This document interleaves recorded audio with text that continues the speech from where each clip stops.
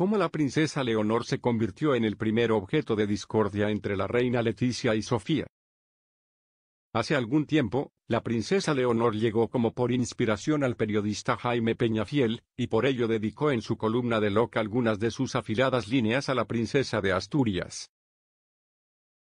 No para resaltar su trayectoria académica en el Colegio Santa María de los Rosales o cuánto le gustan las pelis de Kurosawa, sino para rescatar una historia inédita, que podría ser muy real, lo suficiente para explicar el origen de cierta fricción familiar legendaria. Hablamos ni más ni menos de las distancias más que evidentes entre las reinas Leticia y la emérita Sofía que, como sabemos, datan desde antes del nacimiento de la actual princesa de Asturias. Uno de los temas que desde las crónicas de Peñafiel contribuyeron a nuevas fricciones tuvo que ver con el nombre que llevaría la niña. Don Felipe, por aquel entonces, deseaba que su primogénita llevara con orgullo el mismo nombre de su abuela.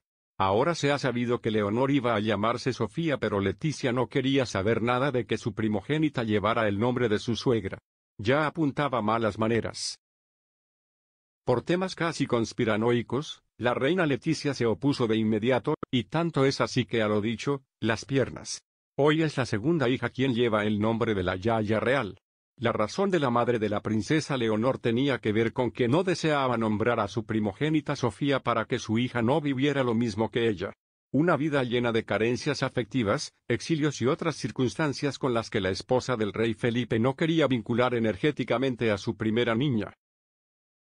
La verdad es que viendo el caso con ojos de piedad, a la reina Leticia no le faltaba razón y, si hubiera podido, ni el apellido Borbón habría figurado antes que el Ortiz en el nombre de la heredera. La historia de su familia política es una carta de presentación que explica el porqué de todas las vicisitudes y problemas en los que se han visto implicados. ¿Querría Leticia que la princesa Leonor heredara todo aquello? Seguro que no, y el monarca tampoco, aunque duela, aunque desde espacios como el Nacional de Cataluña argumentan sobre esta historia que realmente lo que sucedió es lo que siempre ocurre que doña Leticia es la voz que canta y Felipe solo asiente.